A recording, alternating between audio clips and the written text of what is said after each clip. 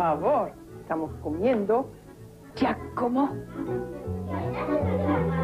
Marcos, parece que hace ocho días que no comes. Eso se come de a uno. ¿Vos por qué no lo probaste? Derechito, si no vas a estar jorobado antes de tiempo. Todo lo exagerado está mal, Daniel. Este tenedor está mal puesto, aquel tenedor está mal puesto, ese cubierto está mal puesto.